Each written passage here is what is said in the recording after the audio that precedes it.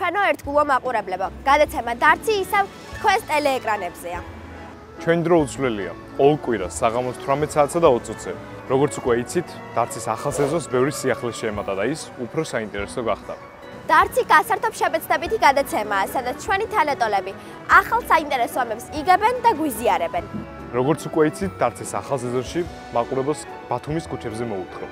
და იმაზე თუ რომელი გამოჩენილი ადამიანის სახელს ატარებს ბათუმის ესა თუ ის ქუჩა.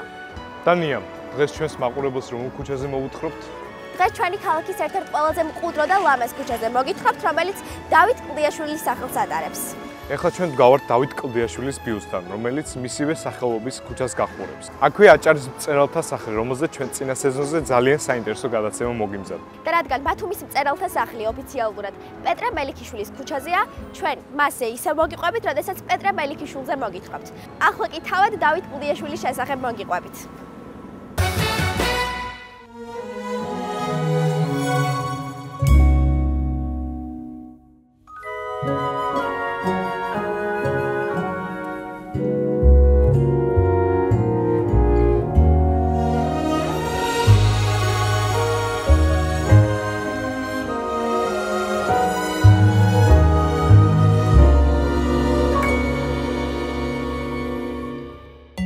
დავით კლდიაშვილი დაიბადა სოფელ სიმონეთში, თერჯოლის რაიონში. დაამთავრა კიევის სამხედრო გიმნაზია 1880 წელს. 1882 წელს მოსკოვის სამხატვრო სასწავლებელი. 1882 წლიდან მუშაობდა სამხედრო სამსახურში, ქალაქ ბათუმში. იყო მეფის რუსეთის არმიის ოფიცერი. დაკავშირებული იყო მოწინავე ინტელიგენციასა და რევოლუციურად განწყობილ მუშებთან და ჯარისკაცებთან. 1905-1907 წლებში არაკეთილ საიმედო პოდპოლკოვნიკი აიძულეს გადამდგარიყო სამხედრო სამსახურიდან. 1908 წლიდან ჯერ ქუთაისში, შემდგომ ჭიათურის შავი ქვის მრეწველობის სამმართველოში მუშაობდა. 1915 წელს მობილიზაციით გაიწვიეს ოსმალეთის ფრონტზე. თურქეთში გადასახლებული ჭანების გამოსარჩლებისთვის მას საველე სასამართლო მოელოდა, მაგრამ 1917 წლის თებერვლის რევოლუციის შემდეგ სამშობლოში დამნოდა. მისი პირველი მხატვრული თარგმანები 1895 წელს ჟურნალ თეატრში დაიბეჭდა. დავით კლდიაშვილის პირველ სავემოთხრობებში გამოვიდა მისი სამწერლო პრინციპი, ქართული კლასიკური რეალიზმის ერთგულება, რითაც მან მე-19 საუკუნის ახალი ქართული პროზის დიდი ტრადიციები განავითარა. წერლის მთავარი თემა იმერეთის გაღარიბებული ეგრეთ წოდებული შემდგომის აზნაურების ცხოვრების მწუხრის ასახვა. პირველად გამოჩნდა მოთხრობაში სოლომონ მორბელაძე. სწორედ აქ დაინახა მწერალმა თავისი ცრაუმნარევი სიცილის სათავე. განწერული აზნაურების შინაგანი ტრაგიკული ბუნება, რამაც მის სამწერლო სტილს განუმეორებელი ინდივიდუალურობა მიანიჭა. შემდეგ მოყვა სამანაშვილის დედინაცვალი, ქამუჟაძის გაჭირვება, ბაკულას ღორები, როსტომ მანუელიძე და სხვა. კლდიაშვილის კრიტიკულმა რეალიზმმა თავი იჩინა დრამატურგიაშიც. დავით კლდიაშვილი იუმორის ბუნებრივი გრძნობით, დაკნინებული აზნაურის ცხოვრების მხილებით ქმნის საინტერესო კომიკურ სურათებს. დარისპანის გაცაჭირი, ირინეს ბედნიერება, უბედურება ამჟღავნებენ დავით კლდიაშვილის მიერ დრამატული სიტუაციების შესანიშნავ უნარსა და ძალას.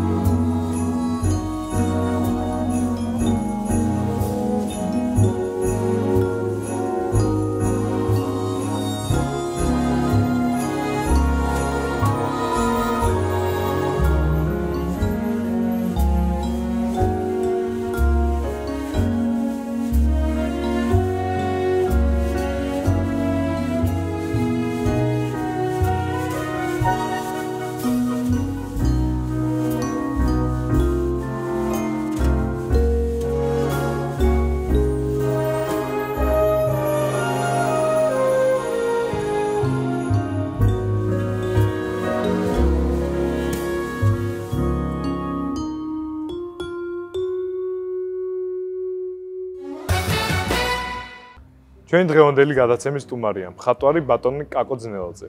მოგესალმებით ბატონო კაკო, მადლობა რომ ხართ ჩვენი გადაცემის სტუმარი. ძალიან დიდი მადლობა რომ დაგვთანხმდით ინტერვიუზე. მადლობა. ბატონო კაკო, მოგვიყავით თქვენი ბავშვობის ინტერესებზე. ვაღარა როგორი კითხვა ახლა უცებ ინტერესებზე. უამრავი ინტერესი მქონდა.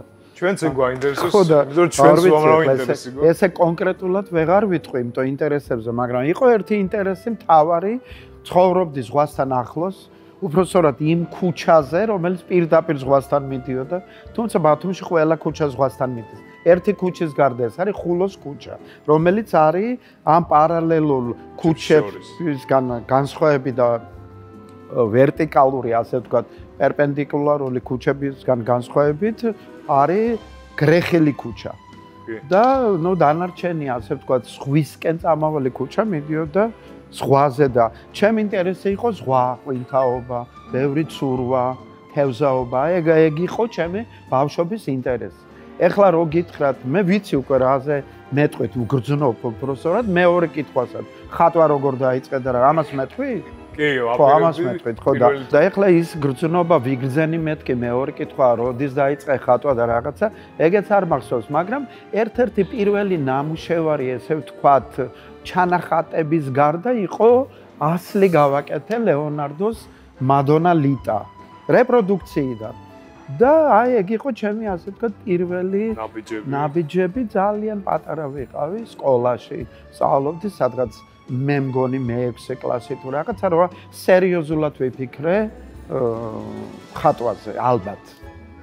მაგრამ შემდეგ მაინც იყო რაღაცა ჩავარდნები უფრო სპორტს გავყევი, გიმნასტიკას, კიდე ცურვა, ესე ესე, მაგრამ შემდეგ მაინც წავედი ამ ხატვის გზით. მადლობა და აქვე მივაყოლებთ ამ კითხვას, რომელია თქვენი საყვარელი მხატვარი?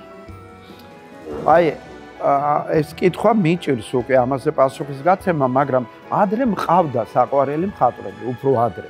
მაგრამ ეხლა უფრო ფიქრობ საინტერესო ნამუშევრები. აი შეიძლება ადრე რემბრანტი მოგწონდა, იქეთ ვან გოგი, იქეთ იან ვან ეიკი და სხვა და სხვა, მაგრამ ეხლა ჩემთვის დღეს უკვე ვერ გაგცემთ ამაზე პასუხს, იმიტომ დღეს მე შემიძლია ვისაუბრო ძალიან მაგარ სურათებზე. სხვადასხვა მხატვრების და არა საუკეთესო მხატვარს. მე მაინტერესებს რა უნარებს გამოარჩევდით თქვენი ბავშვობის დროს სკოლაში და თუ იყო განსაკუთრებული ნიჭი, რომელსაც ატარებდით და ამ მიმართულებით არ განვითარდით. რა ვიცი, იყო ერთი ასე ვთქვათ პერიოდი სკოლაში, სადღაც სადღაც მე-6 კლასი, მე-7, რომ მაინტერესებდა აი სპექტაკლები. ჩვენ დგამდით სპექტაკლებს, მონაწილეობდით. ну, მაშინ გახსოვთ, იყო რაღაც ცოტა ჩარჩოებში ჩასმული პიესები, ასე ვთქვათ, ცოტა უფრო კომუნისტური, ბოლშევიკური, რაღაც პატრიოტული, აი შემართებითი და ну, ასე თუ ისე ამ უნარებს მაინც ვავლენდით იქ ესეთ პიესებში და ვდგამდით სასკოლო წარმოდგენებს. იყო ეგ, რა ვიცი, მოდაში იყო თუ რა, რაღაც მაინც ამით სულდგმულობდით მაშინ და მე მახსოვს ეს ინტერესი კარგად დამრჩა. ეხლა დღევანდელ მახსოვრობაში თორე შეიძლება ბევრი რაღაცა მივაბად თუ გავიხსენოთ, მაგრამ აი იმ ასაკიდან წამოსული და დღემდე მოსული ამ გზაზე მახსოვს ეს ინტერესი ლიტერატურასთან, თეატრთან და ასე შემდეგ. მეც იგივე ინტერესი მაქვს. ზუსტად ორივე საკუთაოდ. არის თუ არა დამოკიდებული საგნის სიყვარული პედაგოგზე თქვენი აზრით?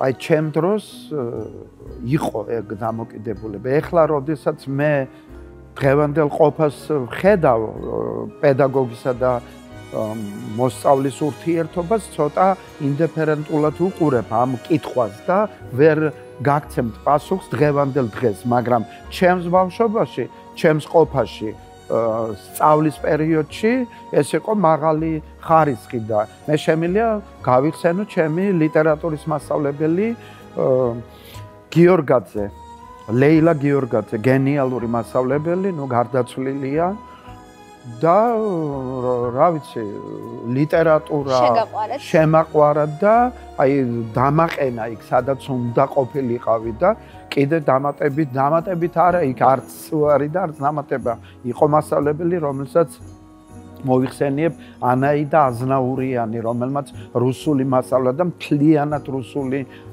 ასე ვთქვათ ლიტერატურა გამიშალა დიდი დიდი ღირსებით ვიგონებ მე ამ ადამიანებს და იმათი თამასა ჩემთვის ჩემს ყოფაში არის მაღალ ხარისხზე ასული.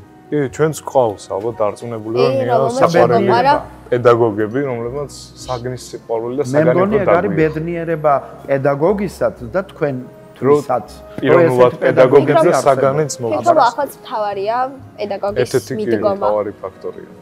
ბატონო კაკო, აი პატარა კაკოს რას ეთყოდით და რა რჩევას მიცემდით? პატარა კაკოს ერთი ნახატია, აი ჩვენს ნამუშევრებზე საუბრობდი და არის მიქელანჯელოს გენიალური სიქსტეს კაპელაში ერთი სასწაული ფრესკა, როდესაც ადამის შექმნა ქვია. როდესაც თითი შემქმნელის ადამის თითს უერთებია ცნობილი ყველა და ჩემთვის ბავშვობა ხო ის პატარა კაკო და დღევანდელი დიდი კაკო ასე ვთქვათ აი იმ თითის შეხებასთან უნდა იყვნენ ჩემში არ უნდა გაქრეს ის ბავშვობის ყოფიერება რომელიც თუნდაც აი ამ დღევანდელი შექმნილიდან აი იმ იქედან წამოსული კაკოსთან ურთიერთობა უნდა იყოს. თუ ის გაწყდა, დამთავრდა ადამიანის ფასი არაფლად არ ღირს. აი ეს ურთიერთობა მინდა ჩემში იყოს.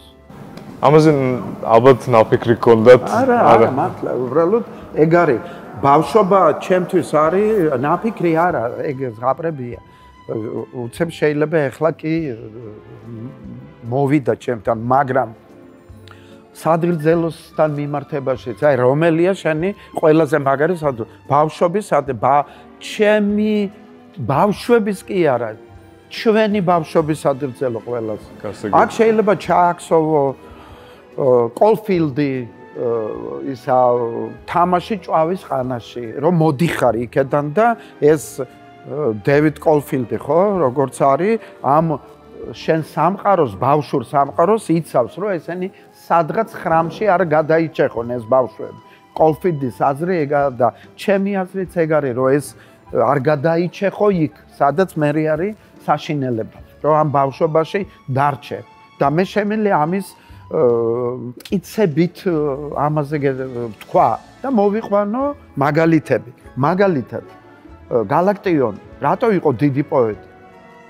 რატო დიდი? ჭარმა გასაგშიც. ჩვენ ყველანი 16, 14, 20 წლის ასაკში წერთ ლექსებს. მეტნაკლებად ვიღაცებს აქვს დაწერილი. პატარა ლექსი მაინც ვიღაც შეყვარებულს. ხო? დიდი პოეზია თუ პატარა არის, მაგრამ galaktionი როცა წერდა მთაწმინდის მთვარეს და შემდეგ ნიკორწმინდას, რამოდენა ის არის შვაში. კი, შვალეთ. მაშინაც ბავშვი იყო და მაშინაც ბავშვი იყო. აი ეგ არის. აი როგორ დარჩე ბავშვი, როგორ დარჩე კოლფილდი, როგორ დარჩე იმ თითთან ურთიერთობაში. ეგ არის. საკმაოდ თამაგონებელი ასოხი.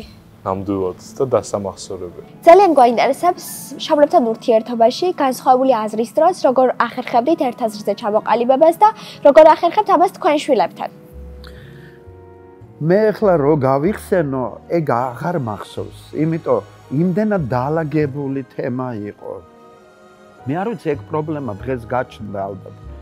ჩვენს დროში იყო ურთიერთობების პრობლემები, როგორ არა, მაგრამ ესეთი სახით წამოსული და ესე ჭარბად არისულად და ჭარბად არ იყო ეს ურთიერთობები.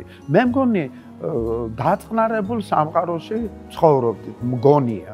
შეიძლება მეჩვენება ის კარგ ფერებში, მაგრამ ესე იყო და შეიძლება ამას ერთი პატარა ესე ფრაზა ედგარ პოს ლექსია ანაბელ lize და ესე იწება ეს იყო ძველს დროში. დიდი ხნის წინათ. იმ კეთილ სამყაროს ნუ ზღვის ტალღები ანგრევს და შლის. მოკლედ თავი დავანებოთ კეთილი სამყარო იყო ის დიდი ხნის წინათ. და ეს კითხვა ჩემთვის რაღაც მეუხეშა, იმიტომ ეს ურთიერთობები ყოველთვის, ყოველთვის, ყოველთვის იმ დროს იყო გენიალური, მაგარი დაალაგებული და არისო რაღაც ისეთი ინტერპრეტაცია და ისეთი ძახილის ნიშნით, როგორც დღეს ისმება აბსოლუტურად ყველგან. ტელევიზიიდან ურთიერთობაში და ასე შემდეგ.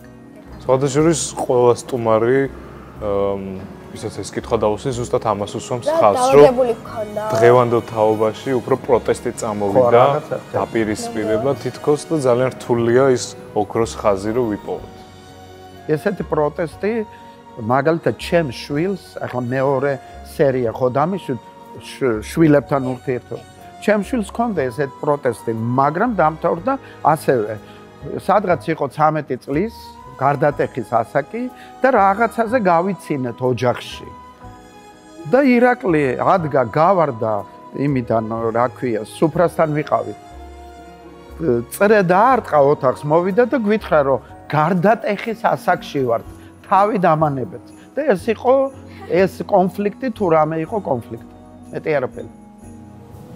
ანუ მაინც მაინც მცირე სახე ქონდა, ხო? ძალიან კარგი. მაგრამ აუცილებელია რომ ჩვენმა თაობას სწორად სწორად გამოხატოს ეს პროტესტი. კი, რომ არ დაგროვდეს მართალი ხამია. აა რა რჩევას მიცემდით ჩვენს თაობას? მომავალ თაობას. მომავალ თაობას. რომლებიც ახლა იწყებენ არჩევას თავისი პროფესიის. აი ეგეც ჩემთვის არის როგორი ჩემთან ურთიერთობაში არ მიყვარს არც დიდაქტიკა, არც რჩევები, არც დარიგება, მართლა არ მიყვარს. იმიტომ მე კიდე სარჩევი ვარ ვიღაცისგან, ან საით, ან ჩემი თავისთვის. იმიტომ ეს გზა არის, ადამიანი არის გზა პერმანენტული და სულ სწავლობს და ერთადერთი რასაც ვეტყოდი, ციგნები, ციგნებთან ურთიერთობა გქონდეთ. ციგნებთან იმიტომ კი არა, რომ ბევრი ციგნი იკითხონ. განათლებულად იკითხონ, შიგნით რაც არის. თავარი იგრძნონ. ამას ურჩევდი და აქეთკენ კონდეთ ნაბიჯები. სხვა არაფერი სხვა. ნუ თავისთავად სიკეთე ჯანმრთელობა და ეს ყველაფერი, მაგრამ თვითონ რაც შეიძლება აიღონ ციგნი, ციგნი, ციგნი, იმიტომ ეს არის ნამდვილად თავდაპირველად იყო სიტყვა. ეგ სიტყვა შეიძლება ციგნშიც არის, ასე ვთქვათ. მაგრამ იმ შინაგან ციგნშიც არის, რომელიც არ დაწერილა, რომელიც არ იწვის. ტყილა არ უთქვამთ ბულგაკოვის არის ხელნაწერები არ იწვის. ეს არ არის დაწერილი ციგნის არ დაწვის თემა. აი შინაგანი განათლებული ცოდნის არ დაწვის, არ გაქრობის იდეა და ამ იდეაში იყვნენ მუდამჟამ. ну ცოტათი მაინც. გეთახმავით 100%-ით სანამ იდეალური ინტერვიუს დასასრულს მივახოდებოდეთ, ჩვენ ვიცით, რომ ჩვენი განახლებული სტუდიის კედლები დამშვენებულია თქვენი ნამუშევარით და თუ შეგვიძლია რომ ჩამოვიაროთ აი თითოეული დეტალი რომ აღვიხსნათ და რომ მოგვიყვეთ როგორ და რანაირად შეიძლება. კი, აი დასაწყისისთვის მეგობარია ჩემი, აი ამ ამბანის კოშკის ასე ვთქვათ, მე პატრონე ზურანასი და მთხოვა აი ადრე რო შემოვიდით აქ ჩიტები ეყარა მტარი ჩიტები და რაღაც ძველი ბათუმის ფოტოები იყო მიჭედებული კედლებზე და აი რაღაცა გავაკეთოთო და რა უნდა გამეკეთებინა ნახე სახელოსნოში ძველი ნივთები უამრავი მაქვს და უცებ მოვიდა სად რა როგორ დამჯდარიყო კედელთან და რა ტონალობაში. აი ეგ არის შეგვიძლია ვნახო კი ბატონო მოკლედ აქ რომ მოვდიოდი ეს ეს ნივთები ყველაფერი მაქვს სახელოსნოში. აყრილი იდო სამოვარი აქეთ ეს ჩარჩო.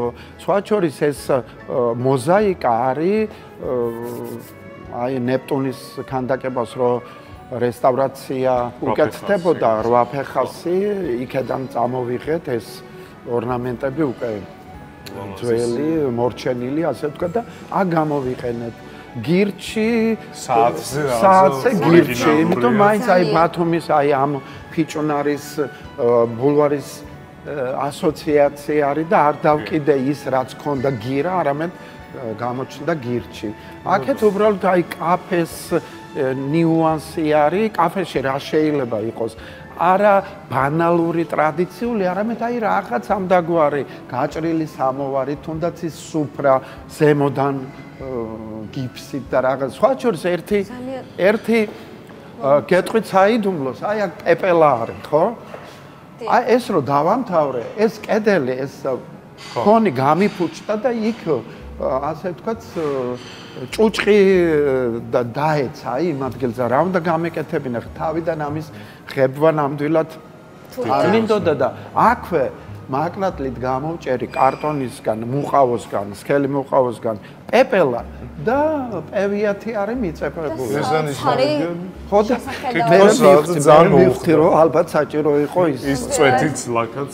ხო, ახლა იქ ანუ აქეთ კაფე, აი კაფეს თემა ამ წრეში. აქ არის ვალტორნა მუსიკა, ну, თავისთავად. ვიოლინოს გასაღები. და კიდე არის აქეთ წავიდეთ ბათუმისკენ, აი ბათუმის პლიაჟი, ბულვარი ხო რაღაც და აქ არის. ნუ ფანტასტიკური ბათუმი. შემდეგ ეს ნახატი ეს ნახატი ეს არის ხო, ეს არის აქვე ძველ ბათუმში არის ცენტრში ძველ შენობაზე სალამურიანი ასე ვთქვათ ხო სალამურიანი ბიჭები და თავარი კიდე. აი პლიაჟის თემა ხო აი რა რა უნდა გააკეთო ახლა ისეთი რომ იყოს ორიგინალური არა გადაჭარბებული და მე გითხარით რომ მიყვარდა მეთქი ყვინთვა და რაღაცა და სახელოსნოს დღესაც მაქვს ლასტები ასე ვთქვათ ეგრეთ წოდებული მასკა და რაღაცა. ერთი ლასტი გავწირე მოვიტანე აქ ვივაკარი ნახევარი ქოლგა ვიოლონჩელოს ის მქონდა. მოკლედ ვიოლონჩელოც გავჭერი და ეს არის ვიოლონჩელო კალი წამოწოლილია პლიაზე მზე და პალმა აი რა არ ვიცი. ძალიან მაგარია აი ყველაფერს აქვს ორიგინალური იდენტური დატვირთვა აი შეიძლება არსაუკვირებოდი ასე დეტალები ხო და რაც შეეხება ამბანის კოშკის ეზოთერიკას ასე ვთქვათ ეს ამბანის კოშკზე არის ეს ანბანი, მაგრამ ზემოთ მეორე სართულზე. თქვენ შეძლიათ გადაიღოთ დავამთავრე ეს გარემო იმით, რომ არის დიდი ასოებით გაკეთებული პანო აი ია და ეს ა ხედრული და არის ძველი ქართულით ორმაგი ასოებით გაკეთებული, ეგ შეგიძლია ნახოთ. როგორც კი შემოდიხარ, აუცილებლად მიიქცეს ყურადღებას ეს განსხვავებული ვიზუალი და სულ აქცენტი ყურადღებას, მაგრამ ასე დეტალურად არ ჩავძიები ვარ და ეხლა მართლა ძალიან მომეწონა. მართალი ხო, ეხლა ეს ქალია ნამდვილად, იმიტომ ვიოლონჩელო გავს კალს. კი, ვიოლონჩელოს გავს კალს. მაგრამ რთული შესაძლებლობია სხვადასხვა თუ არ დააგვირდები. ისეთი ხედებია, შეიძლება უცებ ჩაუარო.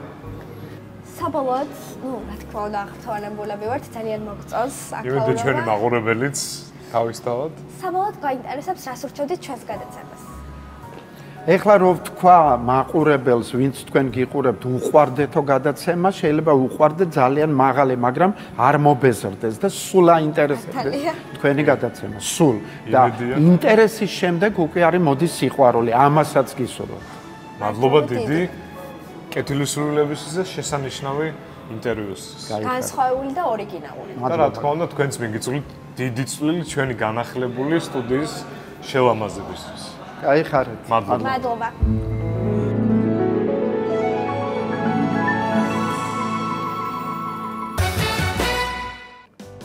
დავბრუნდით ჩვენს განახლებულ სტუდიაში ჩვენს დარწელებთან ერთად. მოგესალმებით ბავშვებო. გამარჯობა.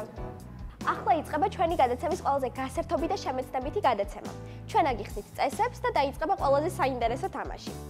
სანამ წესებზე გადავიდოდეთ, მანამდე გუნდის სახელები მოიფიქრეთ და გითხარით. თქვენი გუნდის სახელია? დები სამანიშვილები.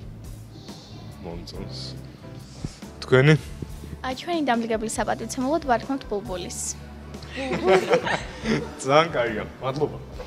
ახლა აგიხსნით წესებს, გუნდიდან უნდა გამოვიდეს ერთი ადამიანი და დარცის მიმართულებით უნდა ისროლოს ისრები. აა რომ რიცხვსაც გაარტყამს, იმის შესაბამისი, იმის შესაბამისი დავით კლდიაშვილის ნაწარმოებიდან ფრაზას წაგიკითხავთ და უნდა გამოისწოთ რომელი ნაწარმოებიდან არის ეს ფრაზა. გასაგებია? აბლობანია. დავიწყოთ. მაშ ასე სამანიშვილის დები. დები სამანიშვილებიდან ერთ-ერთ დასთხო გამოვიდეს დარცის დაფასთან. აჰა, მისის თავისი ისეთ არიან, წარმოგიდგენთ ცოტა ახლოს მოდი. კარგია. ნაბა. აი, მე შოვა. ნია, ეს არის ხუთი.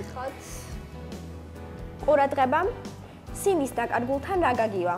ეს ჩემი საყვარელი ნაწარმოებია და საუკეთესო მოგონებებთან ასოცირდება.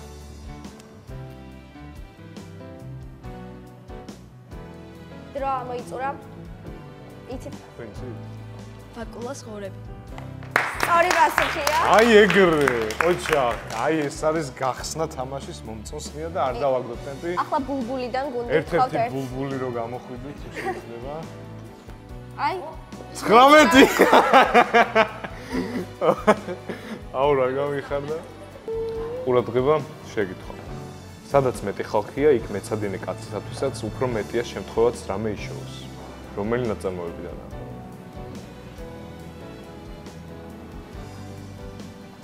თავიდან თუ გინდათ წაკითხვა? შეიძლება, ანუ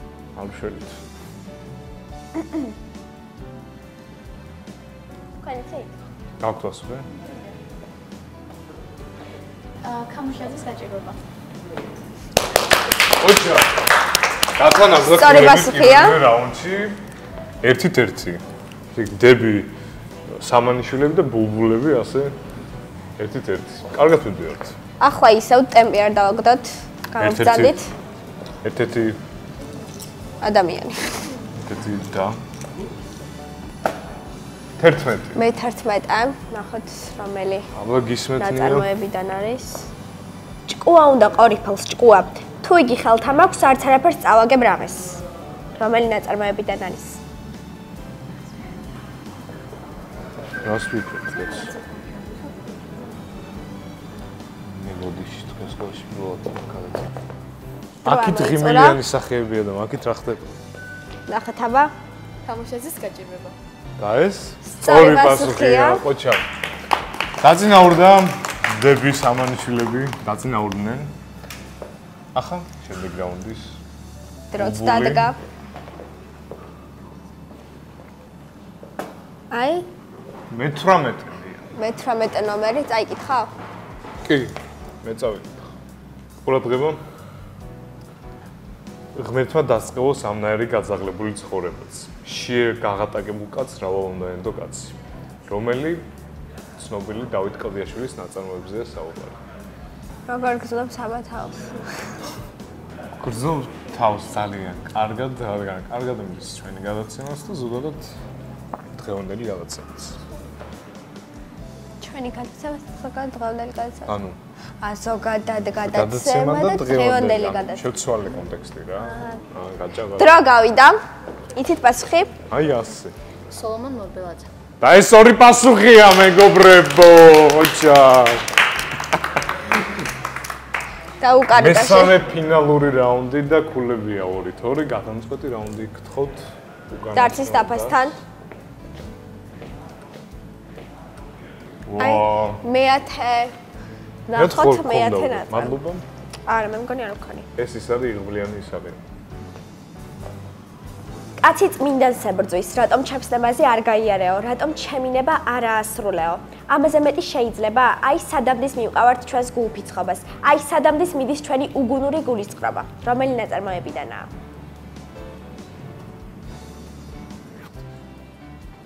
იცით პასუხი? პასუხი იცით? მიდი, მიდი, მიდი. კამუშაძე. სწორი პასუხია? კამუშაძის გაჭირვება. ეს არასწორი პასუხია. არასწორი პასუხია, მაგრამ არა არა უშავს. ეს არის ნაწარმოებიდან შერისხვა. ყოჩახნია. ახლა შანსი გაქვთ მოგების. კარგი ქულა და კარგი დაფიქრება გმართ. ყოჩა, შეგვდა უკვე. არა უშავს. შემდეგ რიცხვზე გადავალთ ესა 7. მადლობა. ყურადღება. ყველასაგან მარტო ჩიუს თუ გაიგონებ თავის უსაშველობაზე. თავის გაჭირვებაზე, თავის გამწარებული ცხოვრების ამბავს თუ მოგებოდა, თორემ ხიარულ სიტყვას იშვიათად თუ ვინმესაგან გაიგონა. რომელი ნაწარმოებიდანაა? შენი მათთან მიდი კითხე, მე მათთან. თქვენ იცით? კი. რა არის პასუხი? უბედური? გამუშავე არა ეგ არა. როგორ თქვი? აქეთ კარგი ამბავია. მართლა? კი. ნახოთ აბა აქეთაც ღიმილს ხედავდა. მივიდით აბა ნელი ფეხის ნაბიჯით. რო მოუმატოთ და ორი სავარაუდო პასუხი გვაქვს. აბა გისმენთ, ან კამუშაძის გაჭირვება, ან უბედურება. მაგრამ უფრო ვფიქრობ, რომ უბედურება სწორად. სამწუხაროდ სწორი სწორი პასუხი. პასუხია და თალკე აპლოდისმენტებს ვისახურებთ საუკეთესო თამაშისთვის მართლაც. ანგარიში კი ასეთია. 2 ორი, სამი. 3 გამარჯვებული გუნდია ბულბული. დამრიგებლის საპატიცემულოდ როგორც აღნიშნეს, დღეს იბულბულეს. ძალიან კარგი თამაში გამოგვიყვება. მეც მომეწონა. ხიარული, შემეცნებითი გასართობი, ნამდვილად და დაძაბული. ტრადიციულად მომავალ შეხვედრამდე და მომავალ თამაშამდე. მადლობა. მადლობა.